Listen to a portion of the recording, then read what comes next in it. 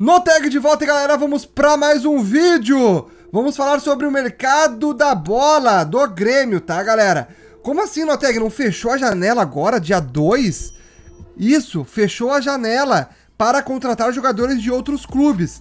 Porém, o Grêmio tem até dia 25 de agosto para contratar jogadores que estão livres no mercado. E tem uma lista inclusive de jogadores que o Grêmio já estava tentando, estava conversando e que pode sim acontecer uma contratação inusitada até o final de agosto. Vamos listar aí alguns dos jogadores que estão livres no mercado e poderiam pintar aqui no tricolor.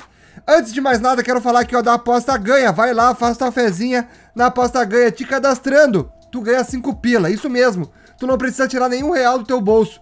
Tu vai lá e ganha 5 pilas só de te cadastrar para tu poder brincar por lá, saber como é que funciona e tudo mais. E aí depois, caso queira colocar dinheiro, tu coloca e pode ganhar muito. Vai na Aposta Ganha, patrocina o Noteg, patrocina, patrocina também o Brasileirão. Então é super confiável. A aposta ganha, link no comentário fixado e também aqui no QR Code da tela. Gurizada, vamos lá, vamos falar sobre essa lista, essa grande lista tem jogadores livres no mercado que poderiam pintar no tricolor. Poderia ser algum jogador aí uh, interessante para o Grêmio contratar. O primeiro deles, vamos falar sobre Diego Costa, um jogador que uh, supostamente foi oferecido aí para o Grêmio. Foi conversado questões de valores e tudo mais, ficou só na conversa, mas é um jogador aí de 34 anos que estava assim então no radar do tricolor. Mas então a permanência de Luiz Soares e a contratação do João Pedro pode ter uh, enfraquecido aí um pouco a ideia do Grêmio trazer o Diego Costa.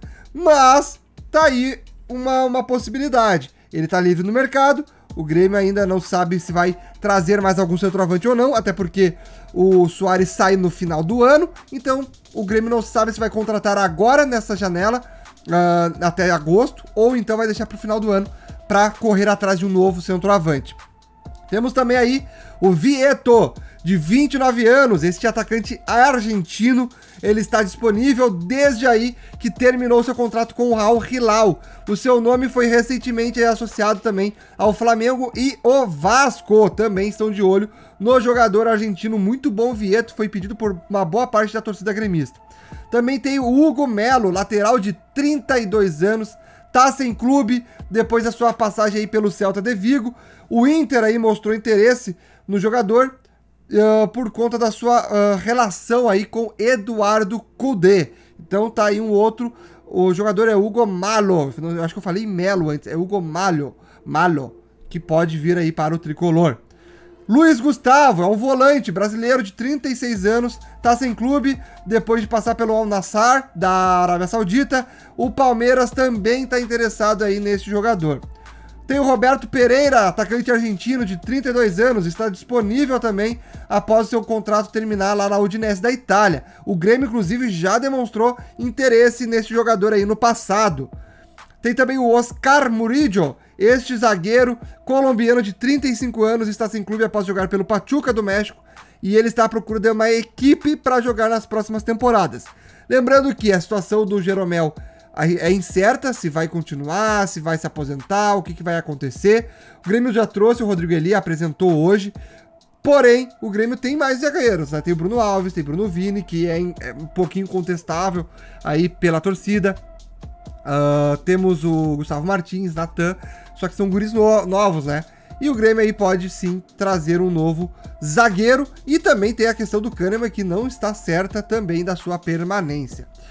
Tem também aí o Yerry Mina, o zagueiro de 28 anos com passagem pelo Palmeiras, Barcelona e Everton, esteve no radar do Flamengo, mas deve jogar na Fiorentina nas próximas temporadas, mas é um jogador que hoje está sem clube. Javier Pastore, o meio-campista argentino que já jogou aí no PSG, inclusive, e também na Roma. Ele está livre após sua última temporada aí no Qatar SC. O Pastore, de 34 anos, foi recentemente sondado aí pelo São Paulo, que acredito que não vai mais contratar o Pastore, até porque trouxe Lucas Moura e trouxe também aí o James Rodrigues. Tem também aí o Oscar Romero, que é o irmão gêmeo de Angel Romero, que é do Corinthians, né? O meia paraguai está disponível depois de rescindir com Boca Juniors e ele está então à procura de um clube para a próxima temporada. E por último, o grande nome, né? Aquele que todos pediam, e querem muito, que é o Alexis Sanches, chileno de 34 anos, despertou interesse nos clubes aí, uh, Grêmio, Palmeiras, Flamengo e o Corinthians. Inclusive, hoje está muito forte o nome dele no Corinthians. Mas, claro, o Grêmio queria muito jogador, tem toda aquela situação. Tem até um ex-zagueiro chileno que é amigo pessoal do Sanches, indicou ao Grêmio e tudo mais. Porém, os valores do Sanches são altos. O Corinthians está com grana, inclusive agora vendeu, né? Uh, o Roger Guedes. E por esse motivo pode ser que ele vá mesmo para o Corinthians e essa, esse reforço viria de repente se o Grêmio tivesse negociado o Soares. Mas como não negociou ainda, vai sair só no final do ano, então o Grêmio acho que pretende uh, ter um novo centroavante, pelo menos de grande nome, grande valor, somente no final da temporada, quando o Soares de fato sair do Imortal. Então são esses os nomes desses jogadores.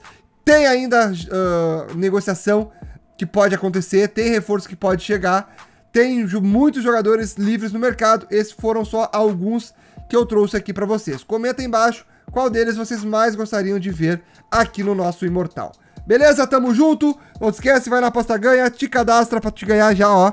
5 pilão, irmão. 5 pilão pra tu conseguir brincar por lá. Tamo junto. Um abraço, valeu, falou e fui!